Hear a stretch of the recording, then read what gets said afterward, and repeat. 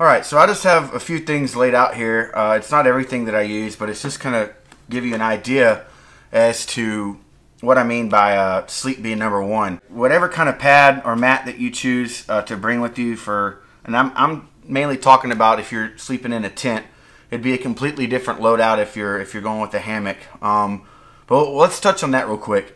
I learned the hard way the first year that I went that even though uh, I'm in Arkansas and there's in the mountains and it's beautiful and there's trees everywhere, uh, it really wasn't until the third night uh, of the four days that we went for that first trip that I found the perfect hammock camping spot.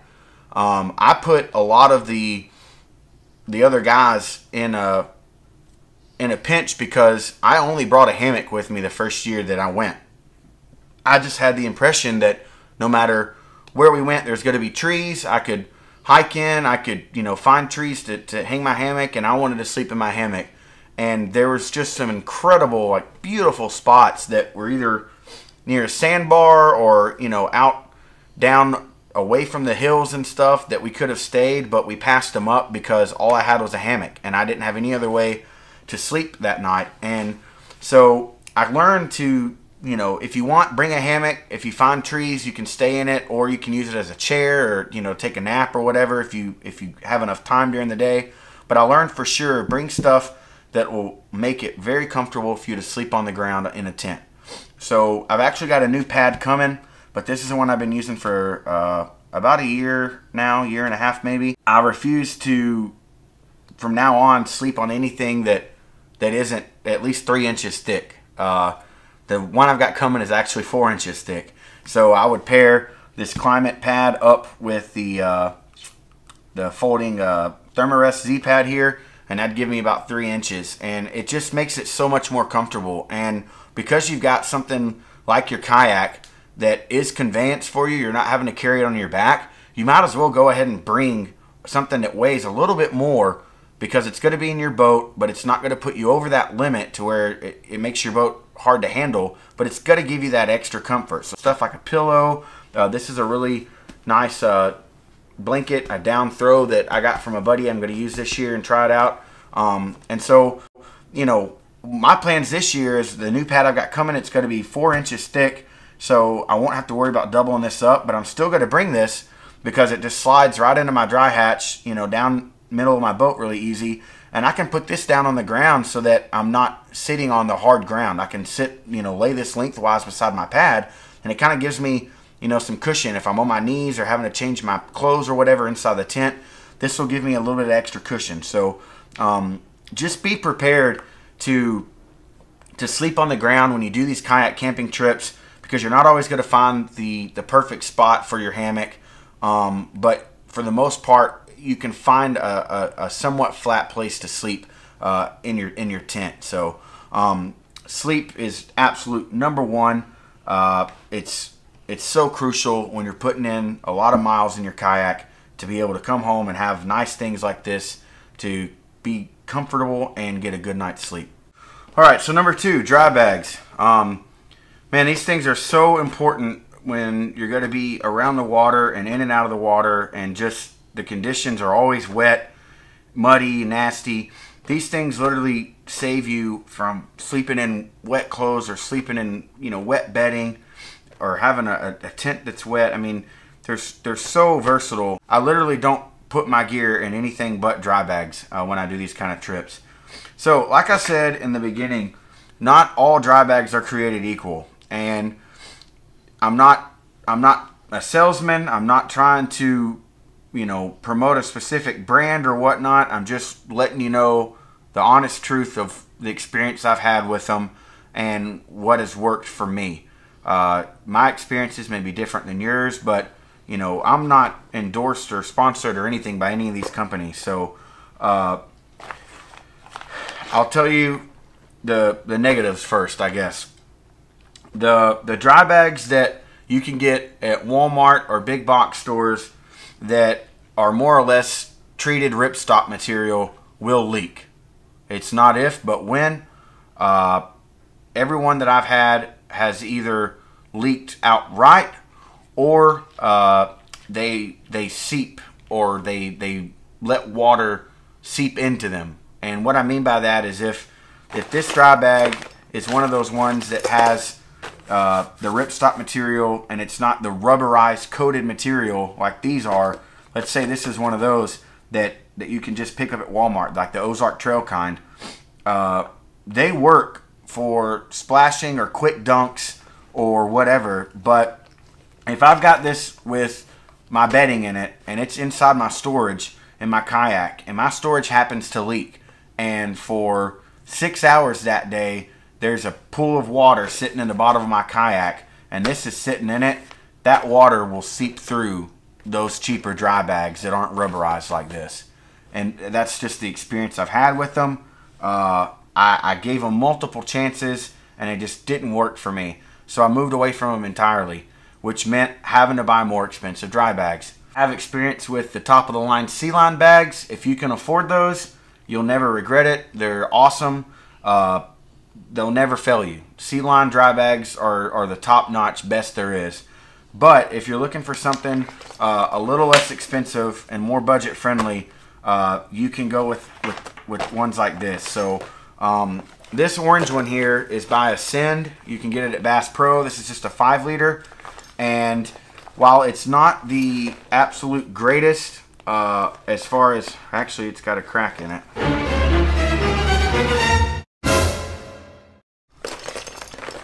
Um, well, so I won't be taking this. I don't know how that happened, but it's got a split in it. So I won't be taking this with me. Uh, it looks like I, I stepped on it or something cut it. So that's probably my fault because that's a straight gash. Um, this has served me well now for going on three years. Um, I got this at Bass Pro Shop, and it's the one that I use outside my kayak. Uh, I keep my recording stuff like my phone, um, my wallet, and those kind of things that I might need quick access to. Uh, in the in a little small five liter dry bag, I roll it down tight, and I use one of the Nite Ize uh, bendable like tie down things and put it through the handle of my kayak and have it right next to me and right next to my leg in the seat. Um, so this is the one that I've been using for years. It, it never leaked. It works great. Um, and it's not that expensive. And it's fairly lightweight. Uh, if it wasn't for me being an idiot and not taking care of it the way I should have, I'd be using this this year.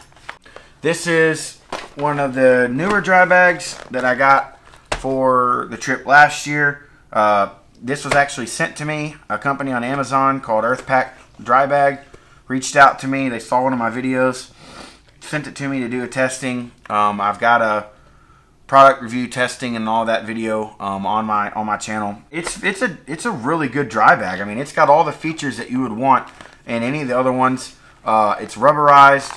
The inside is the seam sealed. It's really thick, heavy duty material, and it actually even has a uh, a shoulder harness strap on it. So this has quickly become one of my favorite dry bags. Uh, really thick bottom. It's round bottom. I like that. And then the other company that I have here is from the uh, Self-Reliance Outfitters store or the Pathfinder School. And I don't know what the prices are on them now, but I actually got this about, I got this as a set, all three of them as a set about three years ago. And these are, besides SealLine dry bags, these are just incredible pieces of gear. You, I got three different sizes, a 5 liter, a 10 liter, and a 30 liter. And uh, they've never once leaked on me. And they're just, they're real heavy duty. Uh, this biggest one actually has a D-ring uh, at the bottom and at the top for a shoulder strap. And it's got a grab handle here. These two are just plain. Uh, well, actually, this one, the 5 liter, has a a D-ring too. They, they work really, really well. So, dry bags are crucial to doing trips like this. I'll just tell you right now, invest in some and uh, and use them, and you'll love them.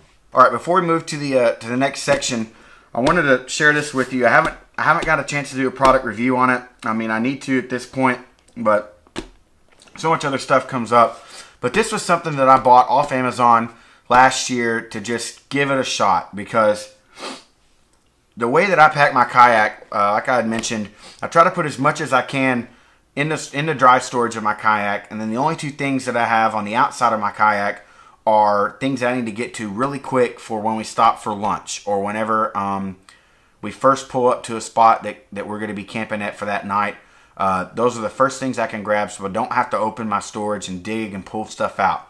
So what I do is I use a five gallon bucket with the Gamma-Seal lid so it's waterproof and airtight. And that's what I put all my food in. And I put that immediately behind uh, my seat. And then the year before, I used a big bag and it got wet and I just I couldn't figure out what I wanted. And I came across this this bag um, and it's a, like a hybrid pack. So it's uh, called Core C O R board racks. And it's a dry bag backpack. So it's got a full backpack harness and padding and you know the the sternum strap. It's got two mesh pockets on the side for water bottles and the top of it rolls down just like the dry bags I just showed you. So I know that Sea to Summit makes a really good one uh, in all different sizes, but at the time um, I just I didn't feel like looking a whole lot, so I I just grabbed this one. I don't know what the price is right now, but man, this thing was just awesome last year on the trip. It's got a front zipper pocket here. It's got an actual a touch screen um, panel on the front, so if you had your phone right here. You can actually touch uh, your phone and, and use it. And this has a waterproof zipper that does not allow any water in. This did not leak at all. In fact, I had uh, some condensation in here in it because it trapped the air and the moisture so well in here. This is what I have on the outside of my kayak, uh, either right behind my seat or uh, or behind the bucket. And these are the only two things that I have. So I put all of my emergency equipment that I might need to get to, like a first aid kit or like a, or a way to a pair of dry clothes for the night, uh, fire starting stuff, like all the, the emergency stuff, and then my cooking stuff, my stove and a pot or whatever, so that I can just grab this and never open the, the storage of my kayak and go out onto the shore and sit down with my buddies and, and cook my food. So I just wanted to share this with you real quick while we're still on the dry bags. It's something you might want to look into. It's a, a Cor board racks, um, and you can find them on Amazon. Third most important thing to me is rain gear.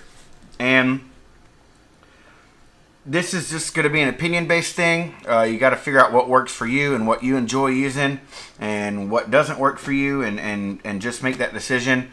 For me personally, what I found out that I like best is I prefer uh, suits, like a separate pants and a jacket and a hat, as opposed to uh, a standard poncho. There's some really good ponchos out on the market uh, that you can find that can convert into a tarp that have snaps, you know, like the, the Uh, U.S. military style ponchos that you can snap in a woobie and use as a, uh, a sleeping bag and and all of that. And those things work great. And I've got a, a old like Swiss Army style poncho that I throw over, and it's in that cool red pattern camo and and all that. And that's what I used uh, the past two years. And I found that, in my opinion, for me, I I don't like not having the sleeves uh, on my rain gear. So for a standard poncho, it either snaps right under your armpits or it just kind of drapes over you. And while they're very long and they'll cover, you know, down to your ankles even, and you can put them underneath your, your butt and you can actually sit on them to protect you that way. Uh, not having the sleeves has always given me problems in the kayak because the moisture runs down your arms as you paddle or as the rain hits you and it wicks to your clothing. And it, it's inevitable for me uh, and the way I paddle too, water splashing and stuff. My sides always get wet, or you know, my, my sleeves get wet, and then it wicks into to the the core area of my body. So I've since uh, been using like Gore-Tex jackets and Gore-Tex pants, and that's what I prefer. I like having the sleeves because all the way up until where my hands are, or gloves, or wherever, if I'm wearing gloves, I've got complete coverage. Um, I will be taking this Snugpak uh, Enhanced Patrol Poncho with me. I bought this probably in the fall last year, and I've used it twice.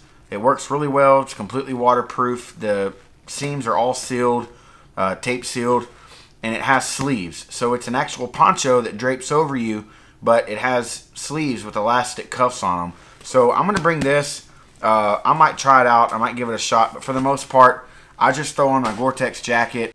If I need to, I can throw my pants on. For the most part, my, my pants are very lightweight and they dry out pretty quick. If it's a torrential downpour, uh, you know, we'll, I'll pull these out of the pack behind me and put them on. And then uh, I always like wearing a hat.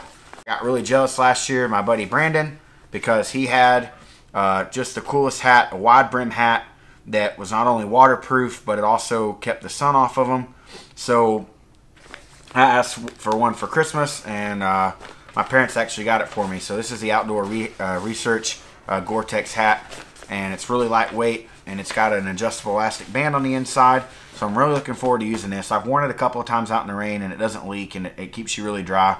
And I just I like having that combo of uh, a hat with a jacket and a hood and the pants. But uh, if you like ponchos, if they work for you, then so be it. Um, use your ponchos. The main thing is that whatever you're going to be wearing for your rain gear, you just want to make sure that all the seams are uh, are sealed. They're tape sealed, uh, and that'll save you a lot of uh, frustration of figuring out how you got wet, where it was that you got wet. It'll keep your uh, your clothes nice and dry.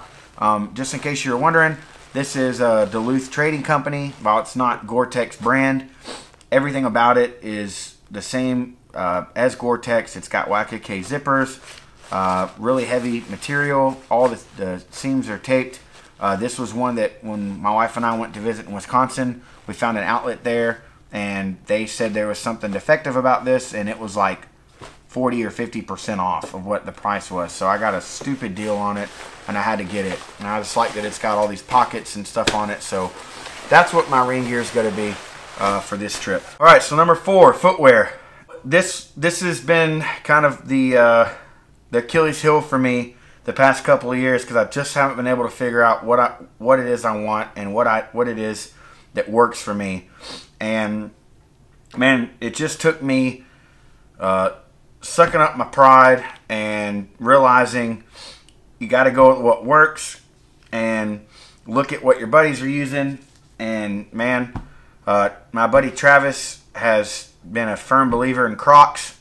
And while I still hate the way these things look, I don't like the way they look, I don't like the way I look in them, uh, man, they just work. Uh, they're super comfy, really thick soles. They dry out really quick, lots of air, and, and they breathe really well. Um, and I had planned on getting some and put it off and put it off. And it just so happens that while I was in Bass Pro getting some fishing lures, I walked by and saw that the camo pattern ones like this were on sale for $18.99. So I think they're normally about 30 bucks or so. Um, and so I grabbed a pair. These are what I'm going to be using for my dry shoes, my camp shoes that I can just slip on. I can keep in the tent.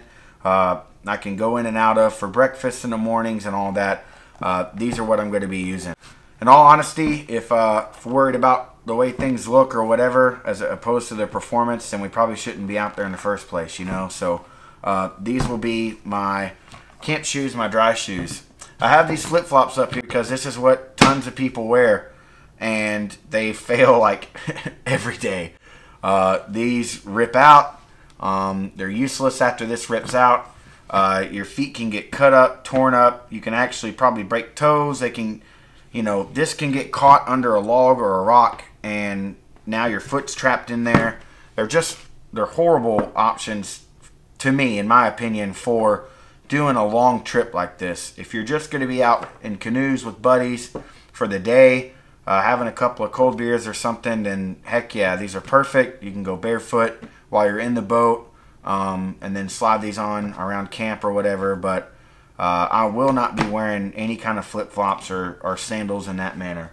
These are going to be my primary uh, shoes for the whole trip. What I'll be wearing on the boat, in the boat, uh, if I have to jump out and push my boat. Uh, my buddy Clint turned me on to these.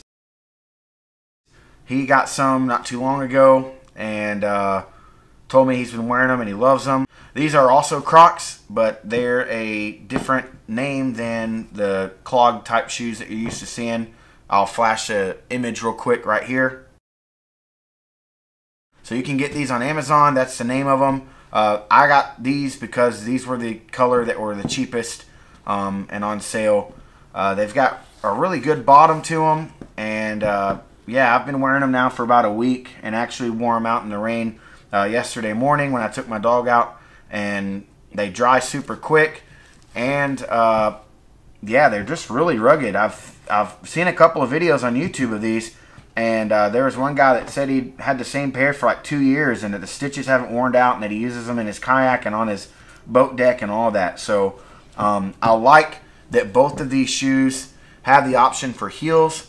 Uh, I really was happy whenever not only were these ugly things on sale, but they also had an adjustable heel strap, not just that rubber one that it can stretch out. I can actually tighten this and cinch these down on my foot if I want. Because sometimes we get out of the boat and we go and hike around and we walk up hills to these waterfalls and stuff. And these will provide my toes protection and uh, they fit like almost like a tennis shoe where they really hug your foot and you can tighten this stuff down. So um, these are going to be the two footwear options that I have coming with me, and they're both super lightweight. All right, the last thing, um, easy to prepare food and snacks. Now, um, while I don't want you to get hung up on certain brands and, and you know, the different companies and all that stuff that you're seeing right now, I'm just giving you options as to what you can do and how you can still eat really well um, and not have to worry about bringing a big cooler full of stuff. Um, there's multiple companies like uh, Mountain House and you know the dehydrated companies. This, these are Packit Gourmet uh, that you can do, and they're full blown meals. Like this is an all American burger. This is a deluxe scrambled eggs with sausage. Uh, you can bring these dehydrated meals and have a, an area on your boat that you prepare to, to put the trash and stuff in and it's just as easy as firing up your little butane stove and boiling your water and pouring it in your pouch and you've got a, a meal right there, hot meal ready to eat. Uh, snacks and stuff, you can bring different summer sausages. There's uh, non-refrigerated cheese that you can bring that doesn't that doesn't require refrigeration. Um, different tuna packets and flavors. You can mix mayo and stuff in. Beef jerky. Uh, you can bring these little peanut butter packets and stuff that you know are just a good snack to have. And you can even eat this kind of stuff on the boat. Like you, you can pass a, a thing of summer sausage back and forth between your buddies while you're you're in still water. And then I'm showing you the uh, drink flavor or water enhancers that you can get. Uh, I, I use a water filter and this greatly increases the way it tastes.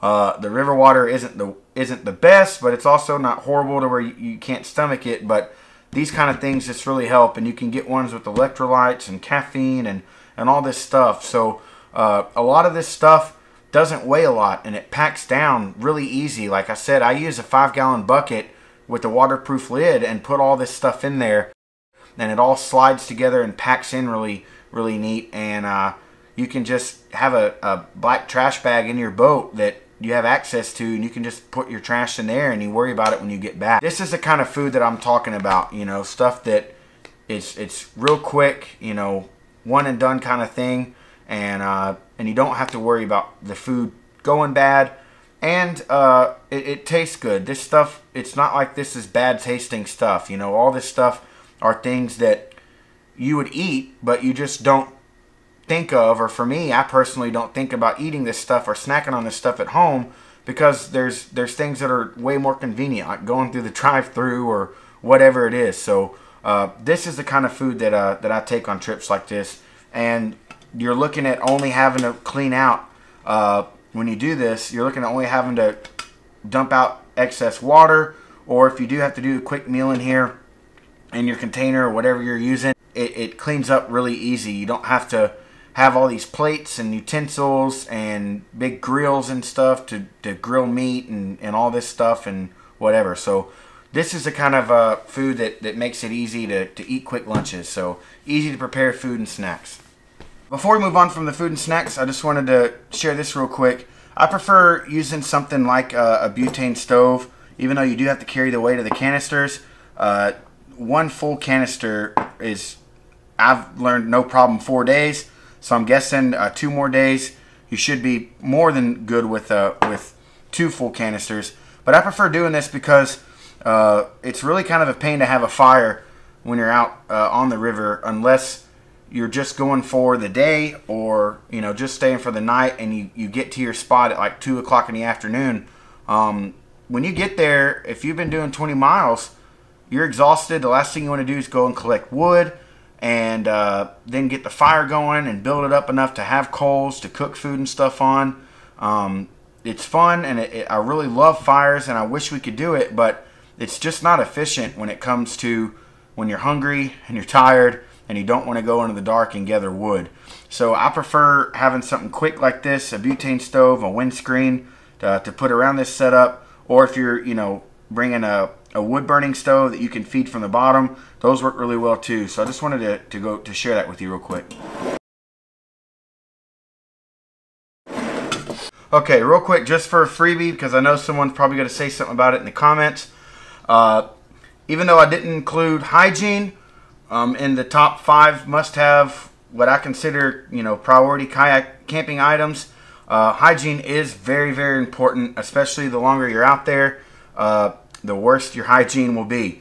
So while it's not necessarily on the list that I came up with, uh, I kind of throw it in there with uh, with your clothing or your ring gear because uh, it's it's really important. You can something like this little kit can be more than enough for you uh, and kind of cover anything that you need. Uh, I'm a big fan of the wet ones, uh, big wipes. They they're really thick and they're antibacterial.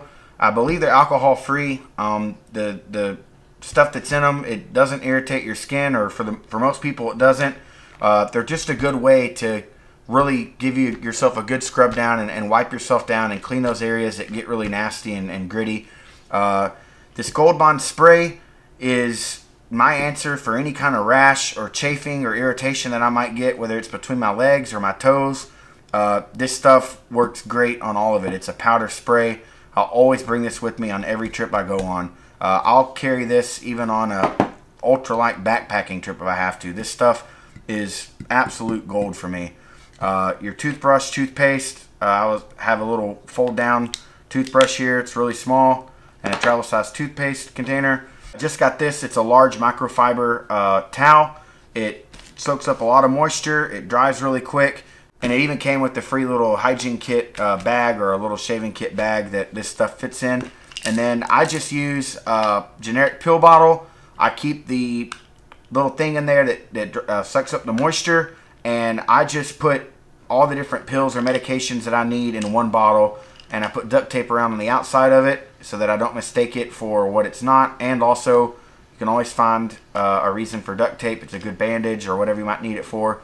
But I just I know the three different types of pills that I that I'll need to take, whether it's an Aleve or some kind of pain uh, aspirin kind of thing, uh, whether it's an anti-diarrheal pill I put in here or uh, allergy pill are they're all they all go in the same one. So I just kind of keep this stock, and that's really my hygiene kit for a trip like this. That's just a freebie, real quick. It wasn't on the list, but I figured someone might ask about it. I do consider it very important. Uh, it's right there with easy to prepare food and snacks, if not above it.